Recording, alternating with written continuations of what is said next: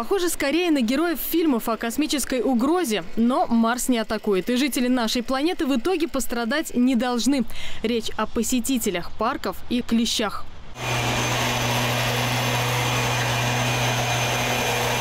Страшно, аж жуть, но только первые минуты с момента такой химической атаки. За спиной дезинфектора генератор холодного тумана, который распыляет яд на растения.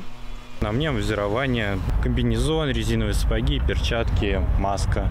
Ну вот на вас такая защита есть, а для тех, кто потом пойдет гулять по этому парку, им уже не страшно будет? Им уже не страшно будет. Высыхает яд, и можно будет спокойно ходить уже через 30 минут.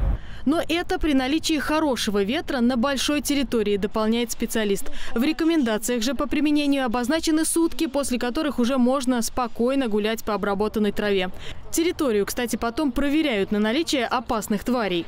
Мы ведем флаг, а, и через каждые 10-15 метров мы его поднимаем и смотрим на наличие клещей. Сколько надо пройти вот так с флагом? Около 5 километров.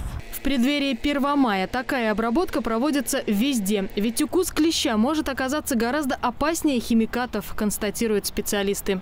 Когда клещ проснулся уже, потому что имеются уже случаи присасывания, особенно на собаках часто замечают, обращаются к нам. Мы обрабатываем непосредственно территорию парка, э, лесополосы, э, приусадебные участки, когда если требуется населению.